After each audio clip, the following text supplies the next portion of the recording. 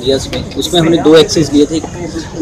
बारालाचा की तरफ़ मूवमेंट का लिया था और दूसरा एक्सेस हम लिया था कुंजुम पास की तरफ़। इसमें हमने टोटल जो चॉपर थे, एक मी सेवनटीन जो बड़ा चॉपर है, उसके अलावा दो हमने एडवांस लाइट हेलीकॉप्टर लिए थे, जिसको हम ध्रुव बोलते हैं, और इसके अलावा दो हमारे एडिशनल चॉपर आए थे, चीता, जो specifically light ultra light weight choppers होते हैं, जो कहीं पे भी लैंड कर जाते हैं। अभी तक आज जो एयर लिफ्ट हुआ है, उसमें तिरसठ लोग आगे हैं 63 जिसमें से तीन जो है जर्मन सिटीजन हैं और बाकी सब भारतीय मूल हैं। इसके अलावा हमारा जो पैरल जो सर्च और रेस्क्यू ऑपरेशन है, उसमें एक, सात लोग हमने रेस्क्यू किए हैं, रोहतांग दरा से ठीक नीचे वहाँ पे कुछ ऐसा हमें इन्फॉर्मेशन आ रहा था कि इनोवा क्रिस्टा कोई गाड़ी है वो फंसी हुई थी जिसमें लेडीज़ और कुछ बच्चे भी हैं तो सात लोगों को हमने आज रेस्क्यू कर दिया। उसमें हमारी अ, जो माउंटेनियरिंग इंस्टीट्यूट की अ, मनाली की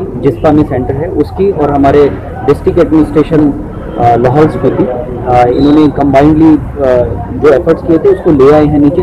सात लोग थे। कल मीडिया में उस चीज़ को काफ़ी उस चीज़ का पता भी लगा था तो उसी की बेसिस पे कार्रवाई करते हुए। हालाँकि उनमें से कोई बीमार या कुछ ऐसा नहीं है। इसके अलावा हम, अभी तक का हमारा जो एयरलिफ्ट का जो ऑपरेशन है, लगभग सौ के करीब हमारा जो आंकड़ा है टच हो गया है। अभी हमारे कुछ सॉर्टी यानी बाकी है, जिसमें ऐसी उम्मीद जताई जा रही है कि 10 से 15 लोग जो रेस्क्यू है, वो हो जाएँगे। और जो हम बाई रोड जो टनल के थ्रू हम जो क्रॉस करवा रहे हैं, जो रेस्क्यू अलग से हमारा चला हुआ है, उसमें अभी जो फिगर है वो टैली हो रही है।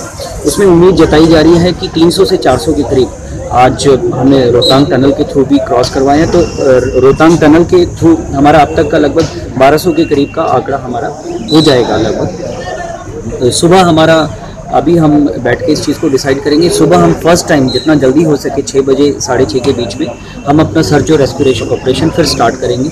एज सच जो भी इंफॉर्मेशन मिली है, कुंजुम दरा में प्रॉपर कुंजुम दरा में ऐसा कोई पैनिकी वाली सिचुएशन नहीं है, क्योंकि जितने भी पायलट्स हैं, उन्होंने प्रॉपर रेकी किया और वहाँ से छोटा तरह से एयर लिफ्ट किया है, जो लोग हैं। और वहाँ पे ऐसी पैनिकी वाली सिचुएशन है, परंतु हमारा पूरा इसमें एफर्ट्स हैं कि कल तक हम उस एरिया को पूरा इवैक्यूएट कर लेंगे। इसके अलावा बारालाचा की तरफ़ अभी कुछ गाड़ियाँ हैं स्टक हुई हुई हैं, उसमें कुछ आज रेस्क्यू हो जाएँगे और इसके अलावा कल तक हम पूरा इवैक्यूएट करने की कोशिश करेंगे। बॉर्डर रोड ऑर्गेनाइजेशन बड़ा मुस्तैदी से रोड को बारालाचा तक आज शायद रात तक पहुँचा देगा। लेट्स होप उसका मैं आपको कन्फर्मेशन अभी दे दूँगा, क्योंकि बड़े करीब हैं बारालाचा के पास पहुँचने में। और दूसरी साइड कुंजुम दरा जो कि हमारा स्पीति वैली की तरफ़ हमारा जो रोड जाता है उसमें भी उन्होंने कार्य स्टार्ट कर दिया था सुबह और काफ़ी आगे तक हमारा फॉरेस्ट रेस्ट हाउस है। Exact location Batal. बातल बातल से बातल से अभी पीछे है बातल अभी नहीं पहुँचे। हाँ छतरू छतरू पहुँचने वाले हैं छतरू तो एक बार हमारा छतरू वहाँ पर टच होता है तो हमारा रोड काफ़ी हद तक थ्रू हो जाएगा। जी।